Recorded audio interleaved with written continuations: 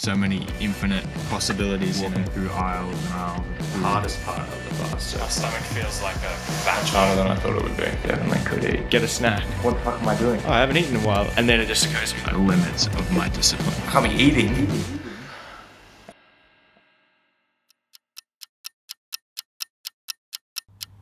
It's the start of day one. It's now 8:40 in the morning. So, why on earth would anyone intentionally starve themselves for three whole days? On first inspection, the idea seems tantamount to insanity. However, upon further exploration, one will discover that there are three very meaningful reasons as to why the ancient and counterintuitive practice of fasting is gaining traction. These three things are the focus of this video.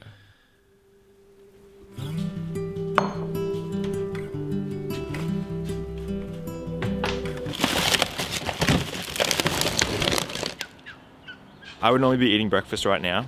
Obviously, that's not going to happen. Last time I did a fast, I was literally just on my phone in my bed watching YouTube videos of people making food, Until the fat renders out and the bacon is mostly cooked into the frying pan. Go to which I never normally do. Like, I'm not really a food focused kind of person. Eggs to develop that nice brown crust around the edges. If the edges are browning too quickly, the whites are not setting fast enough.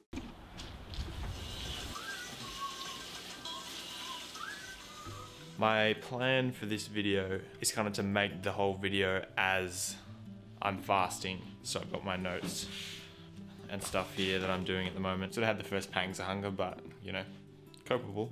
I'm gonna head to the gym in about half an hour, so I'll be interested to see whether my energy kind of suffers.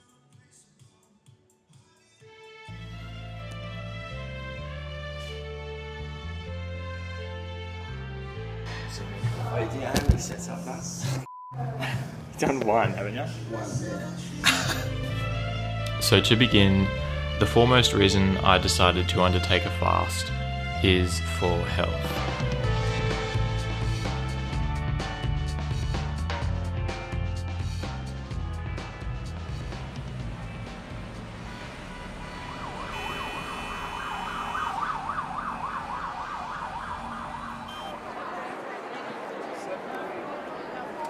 Modern life is not how it used to be.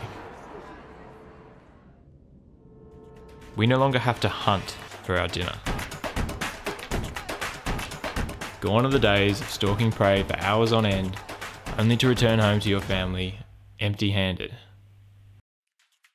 Once upon a time, fasting wasn't a choice, it was necessity. Those who couldn't do without food didn't last. Nowadays, life's pretty easy. You want food, you've got it.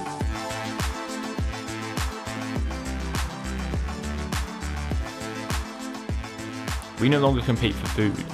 Instead, food competes for us, for our consumption. Cake that brings you back. We carry archaic attitudes towards food in a civilized world, and our bodies pay the price. My mind is telling me, eat. Tomorrow we might get nothing. But tomorrow's meal is already sitting in the fridge. The country is facing a dangerous weight problem. We're fat, lazy gluttons, and we're designed to be. So, how do we reduce our waistlines and return to a healthier state? Fortunately, whilst modern life may not be the one we evolved to live, we do have one very significant advantage over our prehistoric ancestors knowledge. And research is now showing us that fasting boasts a plethora of health benefits that may help us mitigate some of the many pitfalls of our modern day lifestyle.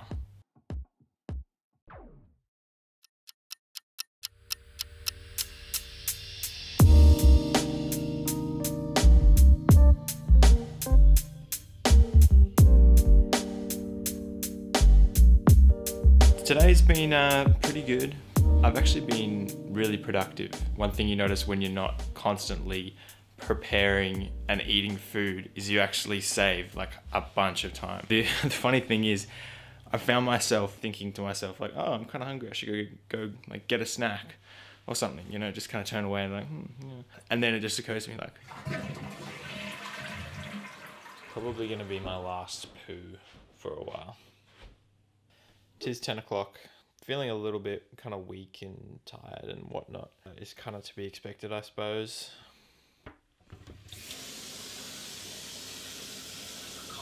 All that stuff has been automated, so I don't have to think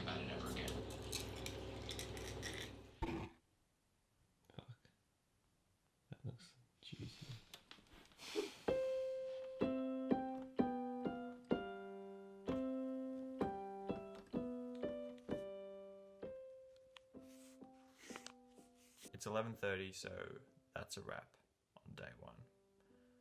One down, two to go.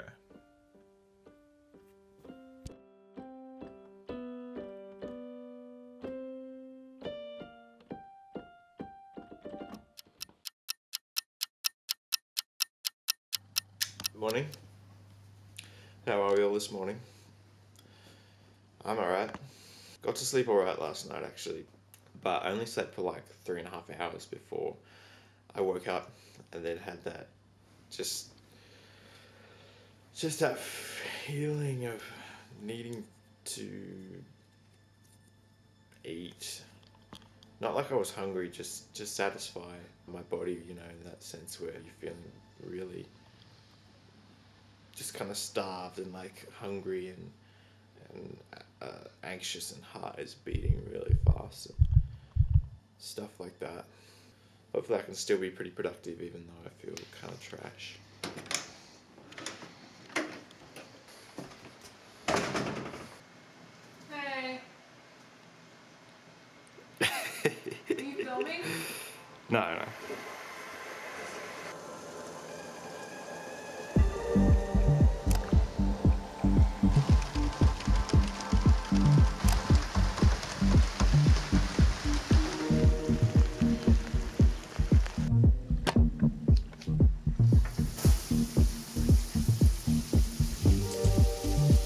So I still turn the shower cold because I feel like you can't be beaten, you know. If I let this fast stop me from doing the shit that I'm trying to do, then the fast is won. Is that on? Yeah. Alrighty. It's 12:30. I've been doing some work, but it's been a struggle. I've just been zoning out continuously. Like I'll just realize that I've spent the last five minutes just staring into oblivion, you know. I'm gonna chuck this down to sitting desk because standing up is just pretty tough at the moment.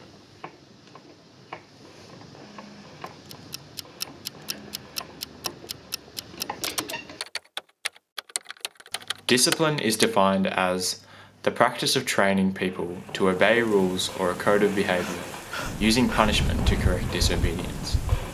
But that's not how I think of it. I think of it as the ability to resist. To resist short term gratification and guilty pleasures.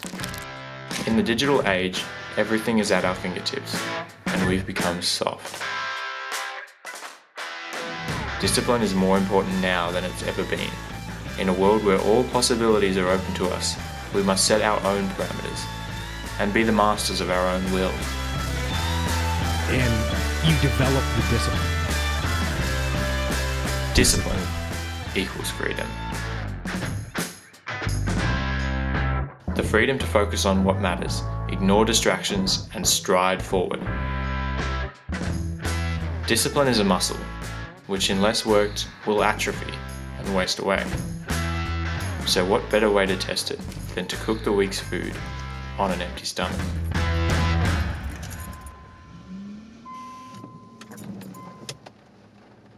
I'm here at the store.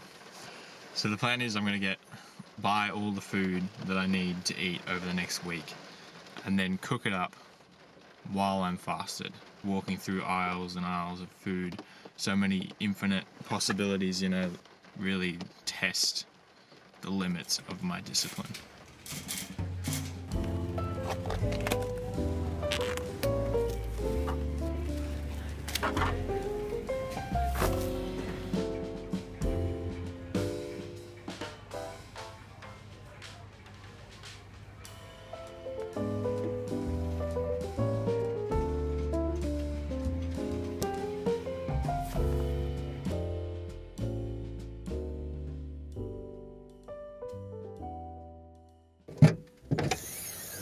Chopping is done.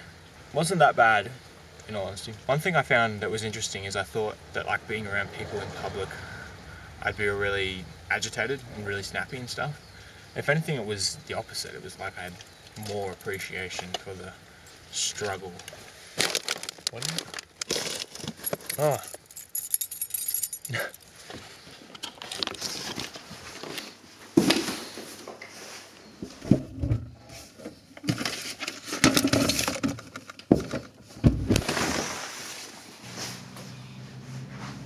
Tis 4.30. I just had a nap. Feeling pretty good, just a little zapped. It's probably the best way to describe it. Isn't the uh, kind of energy ready.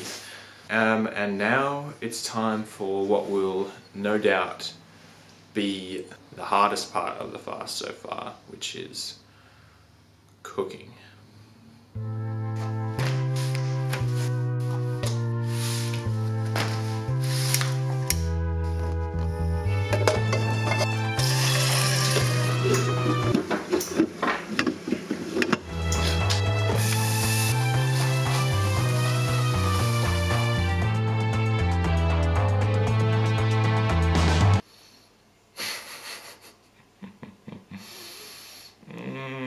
So you know, like when you're cooking, you just you grab a bit of whatever you're cooking and like taste it.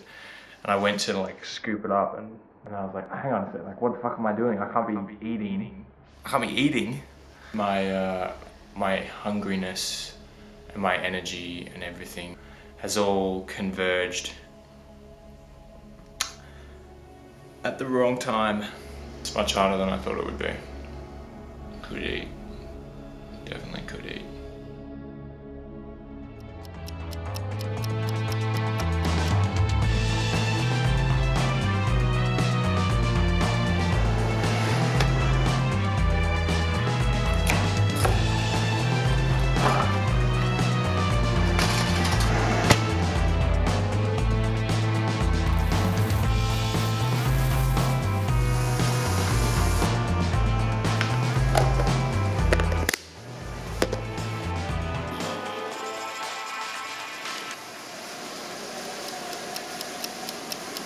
My stomach feels like a vacuum, like the sides are closing in, about to touch, like a black hole. And the food smells good.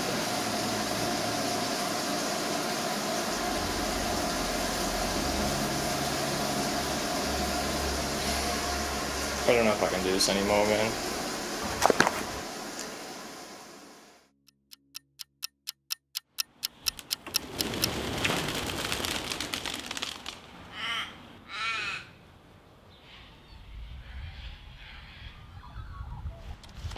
So last night I was cooking up my food and I nearly broke, but I pushed through.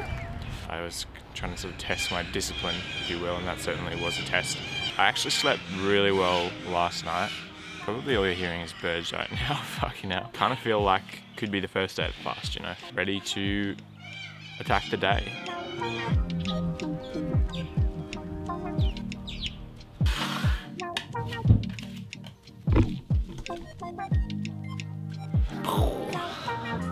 Yo, I've just had a cold shower and I feel fucking fantastic, actually, which is strange. But I feel better than I would on a normal day right now. It's kind of a spiritual experience, really, because this great character arc journey that you go through just reach that point where you're like, I can't go on. And then you push through, and I mean, I shouldn't speak too soon, there's still a full day left to go, so anything could happen. But so far, so good. Boys, boys, me and the boys, when we get a package, this is my new phone. If you've been seeing this one, this is an old cracked piece of shit. It's definitely important to do stuff like this from time to time. Oh, there it is. I think we get too used to our way of life and the kind of comforts. Going through that hardship makes you appreciate the times when you do have things. It's 4.30 in the afternoon. I've just finished doing some voiceover stuff. So about to head to the gym. I feel like a gym session is in order.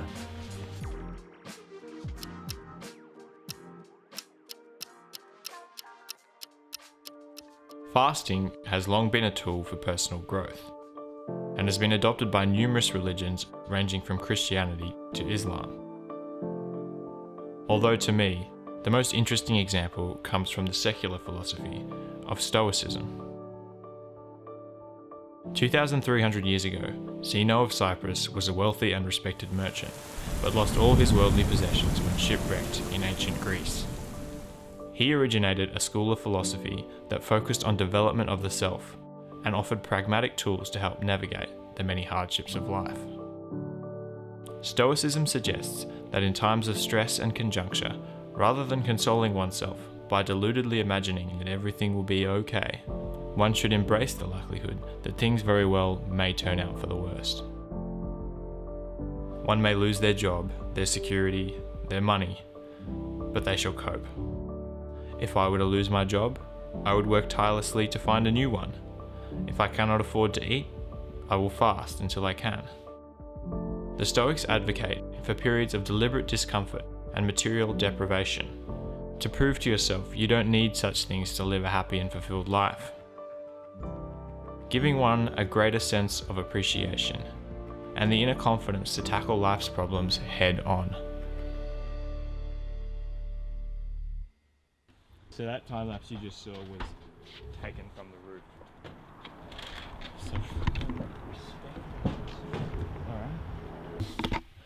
It's 11 o'clock. It's officially been three days, probably been the three most productive days that I've had all month. And you get this kind of weird sense of tranquil concentration after a while of fasting too. I'll see you in the morning and I'm gonna eat some flopping food.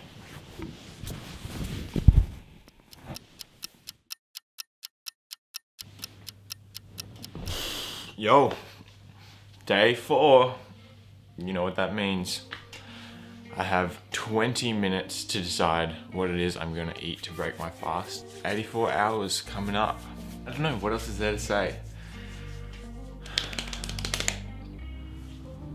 Not much.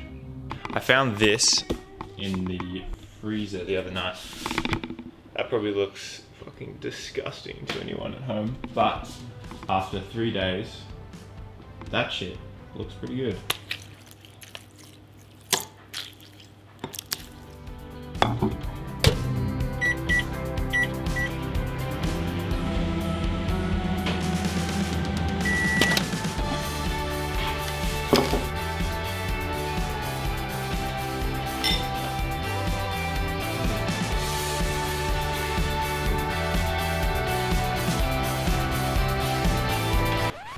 Salt.